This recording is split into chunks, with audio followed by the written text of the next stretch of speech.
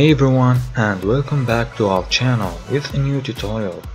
In today's tutorial we will see how to turn this 2D image into 3D here as you can see. So we are flying through 3D space here. So without further ado let's get started. So let's create a new composition with Full HD one with 24 frames per second and 5 seconds long and click OK. Next, import your picture. Right click on it, go to transform and fit to height. This way you can see the whole picture in the comp. Next thing is to duplicate this picture two times. So select it, edit and duplicate. Then do it again. Now we have three copies. First one will be for the right pillar. So I'm going to name it right pillar. Second one is going to be for the left pillar.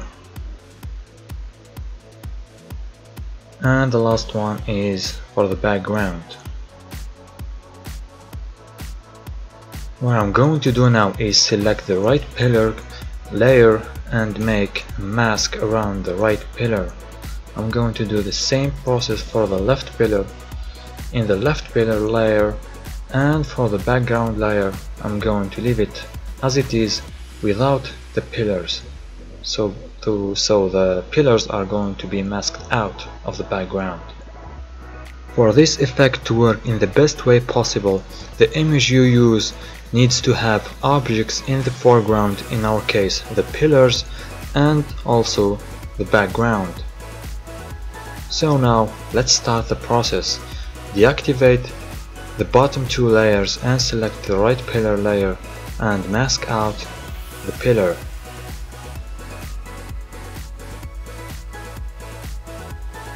Good. Now deactivate this layer and select the, the next one which corresponds to the left pillar and mask it out as well.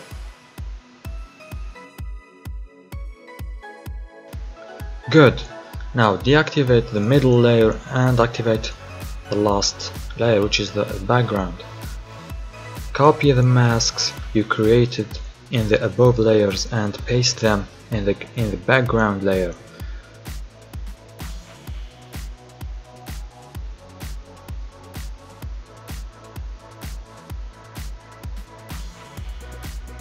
Now go to these masks you copied and sub subtract them. This way we will subtract the pillars away from the background image and we will be left only with the rest. Activate those layers back on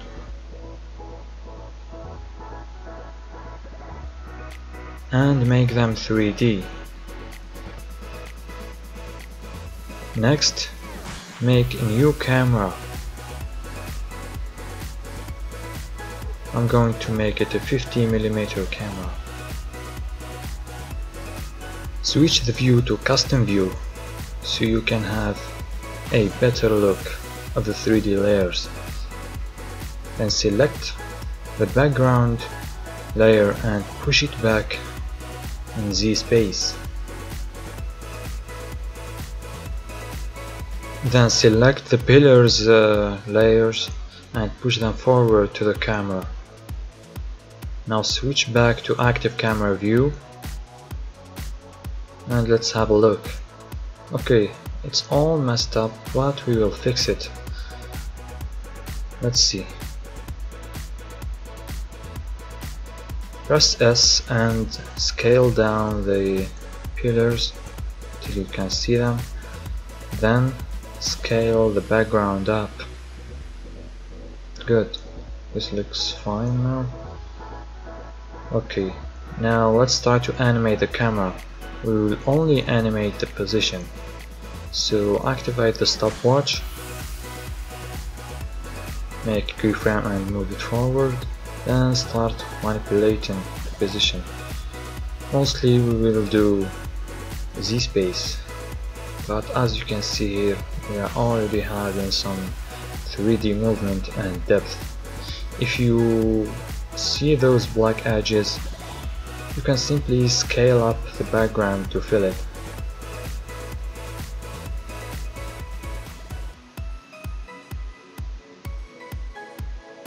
Here we are.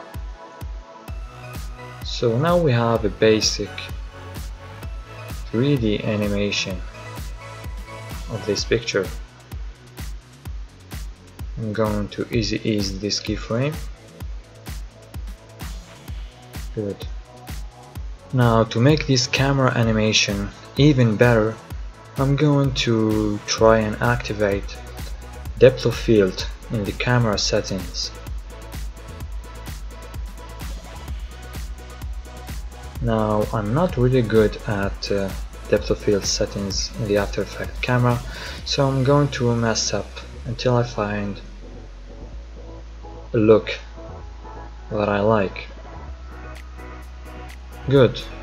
Now we have the pillars out of focus which helps in selling the 3D feel even more.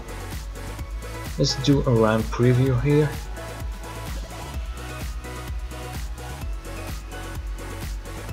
Excellent.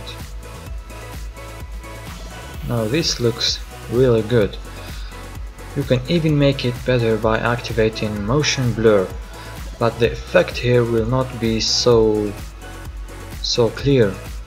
It will appear better in faster camera movement. So there you have it, not so much difference. And with this we reach the end of our tutorial. So as always if you like it drop a like, subscribe and comment below. Also don't forget to click on that bell icon when you subscribe. This way you will be notified whenever I drop a new video on the channel. Thank you for watching and see you next time.